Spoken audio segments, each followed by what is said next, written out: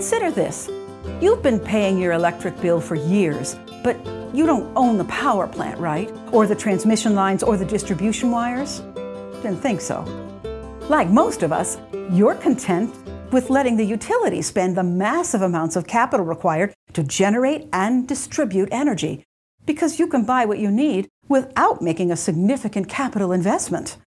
But you do need to make an investment to convert that raw electricity into something that you really need.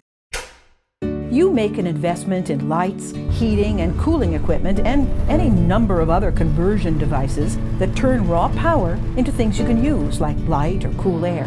Think about it. You're buying something from the utility that requires you to purchase something else just so you can use it. That just doesn't seem right. But don't expect the utility to do anything to change it. They're doing fine the way it is. That's why Onsite Utility Services Capital was created and why we developed Energy as a Service.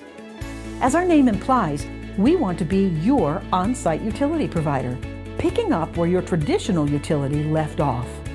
Through Energy as a Service, we purchase your energy efficiency equipment for you and sell you the output at a discount from your current cost of producing light and conditioned air.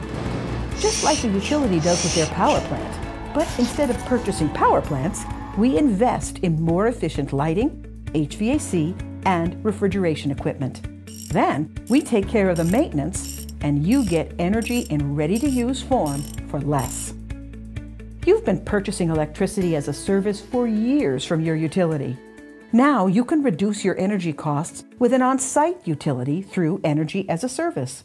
You won't miss worrying about your CapEx budget or waiting for ROIs but you will enjoy the extra cash in your bank account.